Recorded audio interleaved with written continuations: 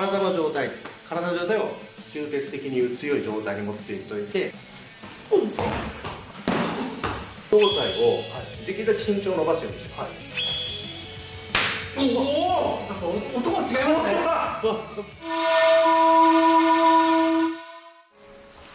えこんにちは白川龍です。え今回もえ素晴らしい先生とのコラボとなっております。え終鉄代表藤原正史先生ですよろしくお願いします。お会いしたかったです。こちらこそ本当に今日ありがとうございます。えー、先生の終鉄チャンネルで、えー、合気道初めて体験していただいたのでぜひ終鉄チャンネルご覧ください。もうちょっとくたくたなん で終鉄の武術界どんどん広がってきてますよね。ありがとうございます。競馬で参戦してるジョムトンもう終鉄はい。会長が結構終鉄トレーニングを熱心にやってくださっていてプロ格闘家が学ぶぐらいの 確立された、まあ、稽古方法だったりそういうや身体調査ですよね。で先生の方からちょっと視聴者に向けて終鉄簡単に説明していただけますか？はい。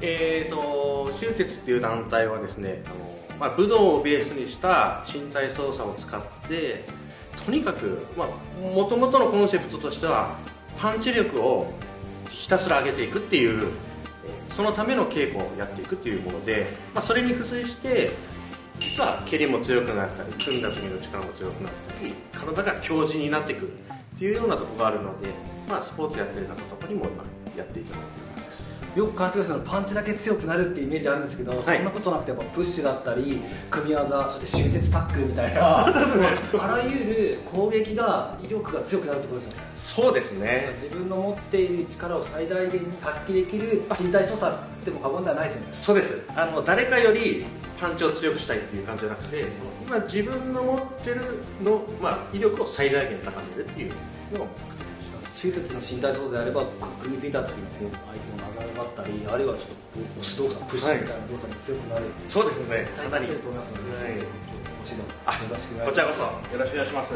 最初ですねあの手術のパンチの威力ちょっと私も体感したいので、はい、ぜひちょっとお願いしますわかりましたじゃあですね、はい、えーとまあ、パンチ自体は多分、まあ、あのミットを受けていただいた方がいいと思うんですけど、はい、まずその感触ですね。感触、はい、生でちょっとやるわけにいかないので、はい、プッシュを。プッシュ,、プッシュがちょっと、プッシュに打撃の感覚を盛り込んだ感じ、ちょっと感じていただく、例えばこうしっかり耐えていただいてここれですね。こう手を当てたところから触ったところからふって要は当たったところからの打撃みたいなもんなんですけど、まずこの力の感覚ですね、まあ普通にやるとこういうそうですねそれはい。プッシュになりますよね、で大事なのは体の状態。です体の状態を終鉄的に強い状態に持っていっといて手はポンです。やめてくださいよという感じ。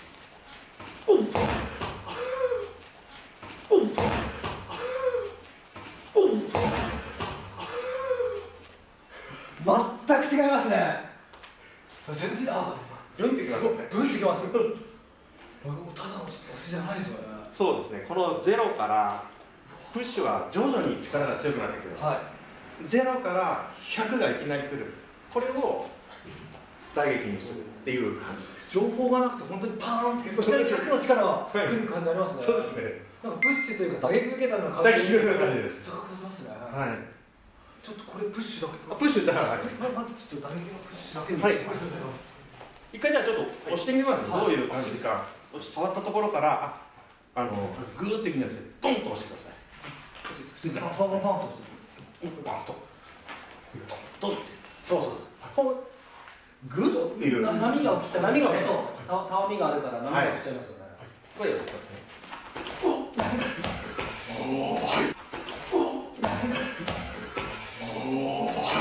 初めてのね一瞬で、はい体が本当にね合体術じゃないですけどそうですそうです。ピーンってなって押されるんですね。はい。普通押すとそれこたわみがあるからはい。ちゃうんですけどあそれを今度打撃に。そうです。これを打撃にしたり組にしたりしてこの力を伝えるっていう感じです。打撃ちょっとはい。じゃあミットでいきましょうか。はい、はい、お願いします。はい。じゃあえっとじゃあどうしましょうか。グローブとかあった方がいいですか？素手で。素手はい。はいちょっと本当に体固めて。はいじゃあいきます。じゃあいきます。あの響くよね。響きます。そして速さですよね先生。プロ選手がやっぱ習いに来るっていうのはやっぱ速さですよね。ただパンチが重いようじゃなくて速くて重いですよね。速くて重い。ちょっとこれはねもったいないので体感してみた方がいいはいそうですね。普通のパンチは、まあ、威力出そうとするとまずこうですよね、はい。重心を移動するとかもう一つの方法としてはあ振るあはい。で強いパンチを打とうとするとやっぱフック系でみんな出しやすいんですけど、それはもちろん大事なあの叩き方の一つなんですけど、それ使わないでこれでいい体の移動も大して使わないで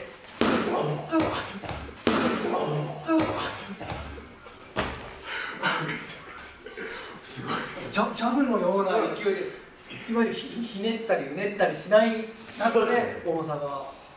じゃあちょっと今度ジャブさっきお話ししたジャブっぽい感じ。ジャブのジャブでやってもさほど変わらないよ。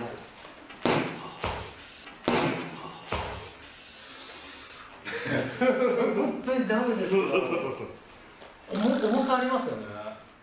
なので、は一発一発全力で打つわけではないのでポンポンポンってなんか切りかす感じでいきますね。はい。どうぞ。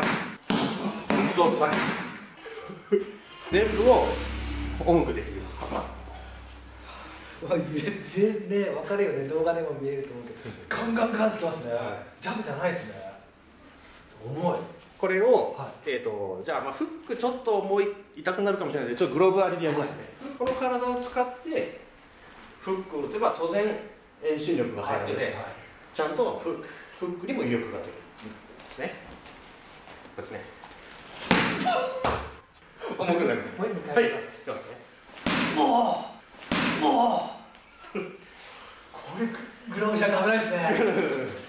響きますね。響くんですよね。絶対に響きます。打撃をするするために、はい。実際はこの打撃の、はい。打撃法を練習するっていうよりは、は体使いの練習ばっかりなんですよ、はい。ものすごい地味なんです、はい。一番のまず大事なポイントは、はい。体を伸ばすことなんですけれども、例えば分かりやすく言うと、はい。こっちを向いていただいて、はい。下からで、えー僕に対して強い力を出そうとすると、はい。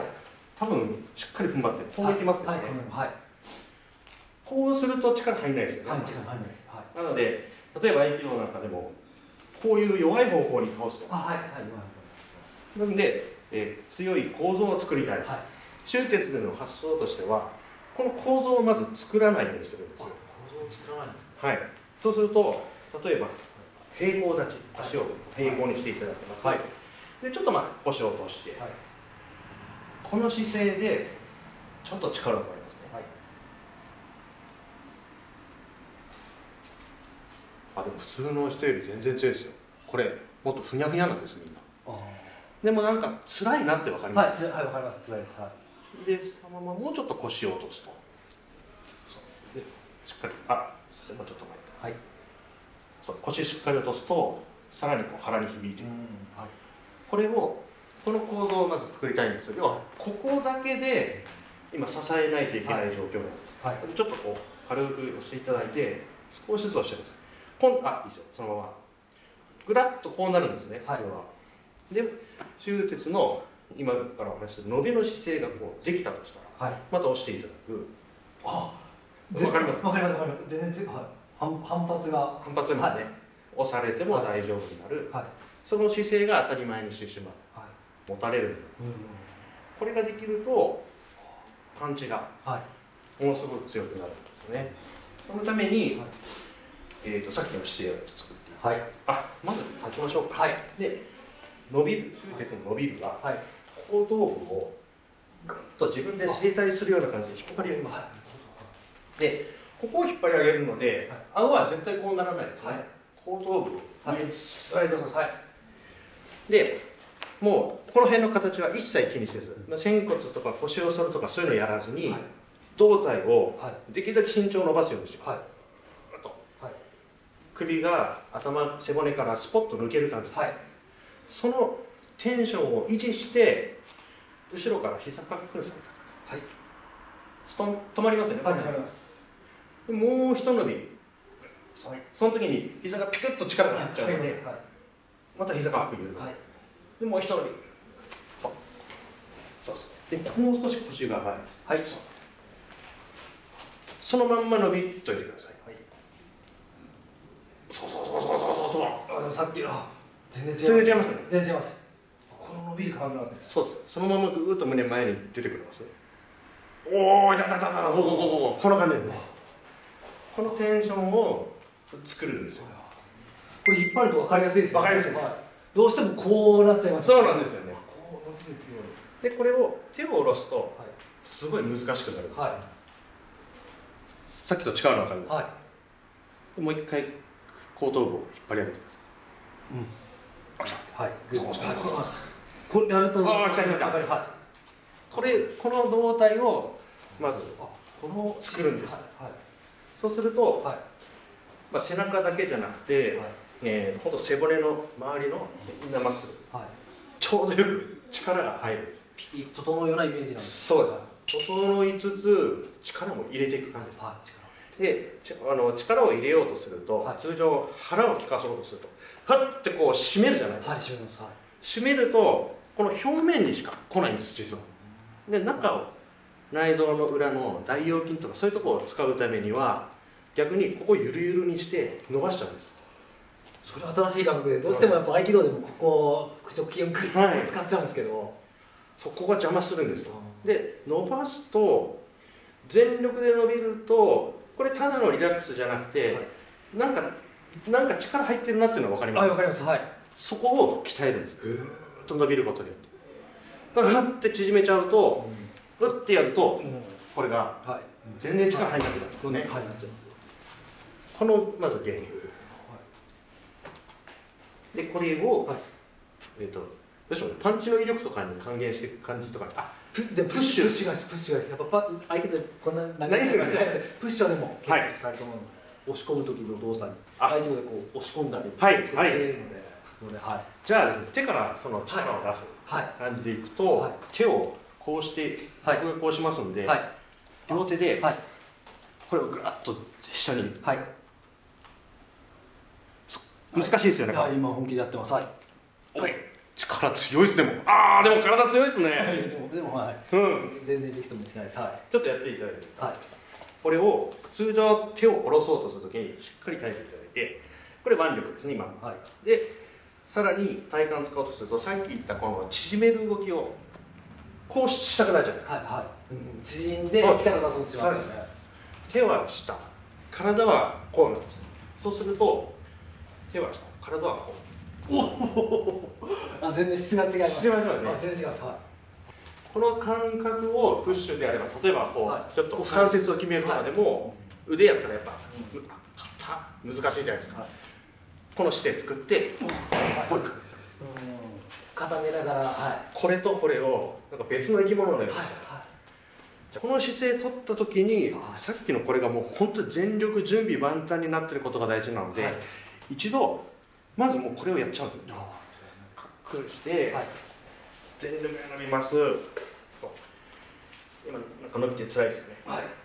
でそこを一切変化させないで手をこすそうさっきの頑張りを緩めない。でここから先は力抜いてスッと乗せる。でまだ変化させない、はい。今しっかり後頭部が伸びてます。でここは伸ばしつつ手のひらだけを下にツツツッと下ろしていく。おおそうそうそう。あ今つられた。体がつられてるんですよ。体は下に行ったりしないように手のひらがそうそう。あ手のひらおおこれ。すごい。全ちょっとちょっと。全然。全然違いますよね、はい。手のひらだけか。どうしてもやっぱ肘とか肘の屈伸運動でやそうってたんですけど、今日これはい。助けちゃいますよね、もう助けないです。体幹君はこっちに頑張ってるからお前だけ頑張ってよっていう感じにもう分離しちゃうんですよ。あそれ体の使い方全然違いました今。えちょっと僕が受けると嘘っぽいんで、はい。ちょっ本気でちょっと腕力でまずやってみるこれ本当に押す方が大変ですもんね。そうなんですよね。逆に下がるわけないですよね普通に。で体も浮いてきちゃうんですよね、い。わゆるここそうそうそうそう。ここれねこれね、はい。それで最初のその手を手を伸ばしてで膝は柔らかくですこの角度をキープしておいていいんですけど一切力まない。で手手のひらだけがそうそう。重さ。違いますね。ね、押してる感覚もわかりますですよね。たわたわまないです。よそう。腕力でやっちゃうと僕もここら辺に力が滞るんですけどおおこういう感じで。あそうそう。これだと結構これでも力が出ますちょっと難しくなりますけどそう。で姿勢を入れる姿勢第一にして。おおその感じその感じ。ああそうそうそうそうそうそう。でも全全然力が。うん。イライラしないですよ 固めてって感じですよね。そうです。全然近くなりますね。この姿勢がやっぱ強いんですね。強いんですよ。それをじゃあ先生だとここれを使わなくてもその意識していろんなひねる動作に対してもやってたってこと？そうです。このまま動いててもやると。要はこの時に何をやろうかというと,、えー、とこの腕とか膝が大事なんじゃなくてこの状態で作られる体幹の状態がすごい大事なんです。なのでそれができれば膝が何やってても手足は自由なんで動けますし蹴りでもパンチでも逆にここもぐにゃぐにゃでさっきのこれと一緒、はいスッてやったらクシャッと。そこがやっぱ面白い普通は強い姿勢作ろうとすると、うん。体の構造で足をしっかり曲げて、はい。足を落としているのが強い姿勢ですけど、はい。そしたらちょっと居ついてしまいますもんね。そうなんですよね。で汎用性がなくて他に転用しにくいですもんね。はい。さっきは打撃にそれを伝えましたけど、はい。一番分かりやすいのは逆に体自体をにから力を出すのが実は簡単なので例えばはこういう相撲みたいな稽古をよくやるんですけど、いはい。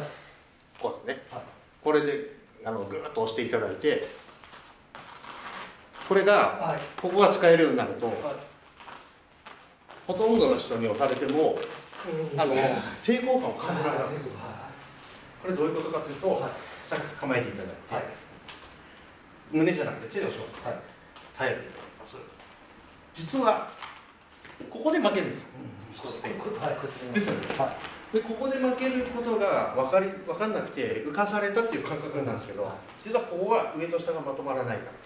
で今度はさっきの姿勢ですね、はい。ぐーっと置いてまたこの状態をこの独特の緊張感を変えないで足を片足をスッと引きます。そう。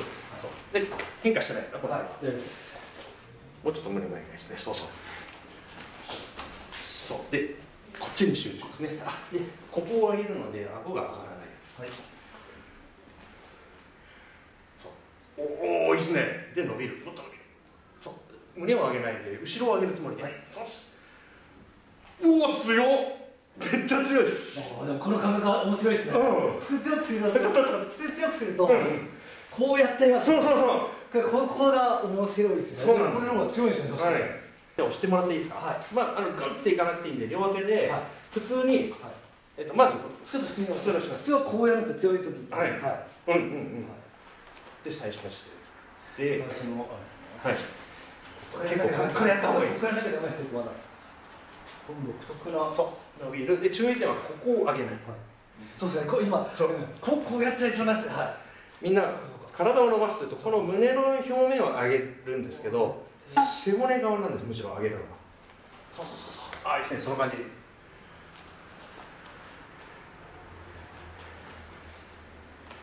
うん。それでまあこの姿勢のまま。そうそうそうそうそうそうそうこの姿勢のままはい多分グーッと歩いてくれますこの子多分。簡単に。そうそうそうそう。そうそうそうあ全このは構造物で押しいはいてるよう。なはい。ちょっとプッシュもやらせてもらっていいですか？はい。あ。じゃああの触ったところから結構難しいので、はい。パンと小手でいはい。けます、はい。ちょっと普通に最初じゃあもう思いっきり思いっきり関係なくてこういう感じです。ねおここにわーいそれが普通に本当全然全然ただやってない打撃力でもありませんね。衝撃があるじゃあ行きましょう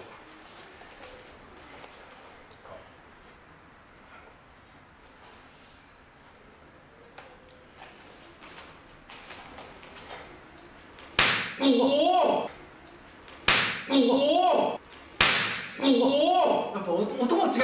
ああ全然違いますこれもっといきますよそしてさらに今の感じで、えー、と小手打つっていうのをななくしちゃうんです、はい。あのあの本当にちょっとあっち行ってくださいよのイメージで、はい。自分の中で。はい。あ打つぞじゃなくてゃなくて。あっち行ってくださいよっていう感じにすると攻撃力がなくなるんで。リラックスすそうそうそう。るやつですよあっちまで手が突き抜けるようなイメージあれですよまだここを叩こうとしてるんですはい。どなんかここを気にしない感じ、はい。あもうでも浅い。結構浅いです。はい。深く遠くに。そうそうそう。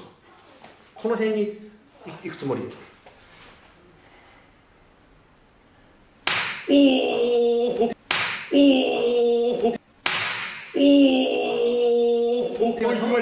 いや今本当に気持ちで向こうに追い抜けあ全然違いますね。この姿勢で。あんまりここに帰ってこなくないですか？はい。あの反発がないです。先生に教えてもらうとやっぱり感覚わかります。ああよかったすいませんいやいやいやいやいやすごいですねも。こんなに軽くやってるのにううん。威力が素材するんですそうなんだどうしてもだって体のしこう足腰を使った姿勢に頼ってはいやるんですけど。も、うん。ちょっとした身体操作でやっぱ本当打撃の力だったりやっぱこうプッシュあとこはいれも首上がりの姿勢にそうですね。活かせることなんですよねなんか生きたらいいかなと思います。大変勉強になる。のでちょっとね意識してとはい練習稽古したいとありが思います。とうございます。また次ぜひまた教えてください痛かったです。ぜひありがとうござい。ましたありがとうございました。あ皆さんご視聴ありがとうございました。りがとうございます。ぜひ藤原先生のチャンネルご覧ください